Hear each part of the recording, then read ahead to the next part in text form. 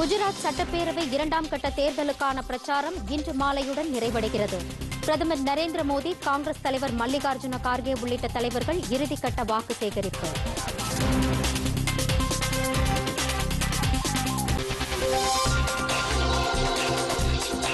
இந்திய கடற்படை தின கொண்டாட்டம். குடியரசுத் தலைவர் திரௌபதி முர்மு விசாகப்பட்டினத்தில் நாளை நடைபெறும் நிகழ்ச்சியில் பங்கேற்பு.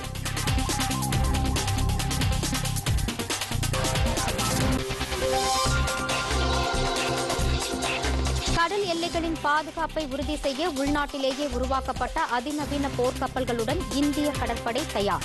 பாதுகாப்பு அமைச்சர் ராஜ்நாத் சிங்.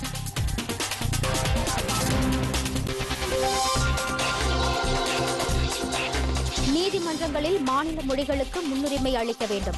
அம்பேத்கர் சட்ட பல்கலைக்கழக விழாவில் மத்திய அமைச்சர் கிரண் ரிஜிஜு பேச்சு.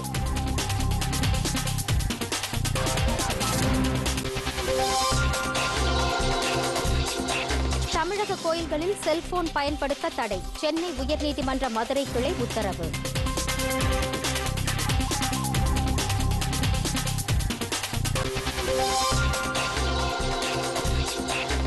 ஃபிஃபா உலகக்கோப்பை கால்பந்து போட்டி. செர்பியாவை வீழ்த்தி அடுத்த சுற்றிற்கு தகுதி பெற்றது சுவிட்சர்லாந்து.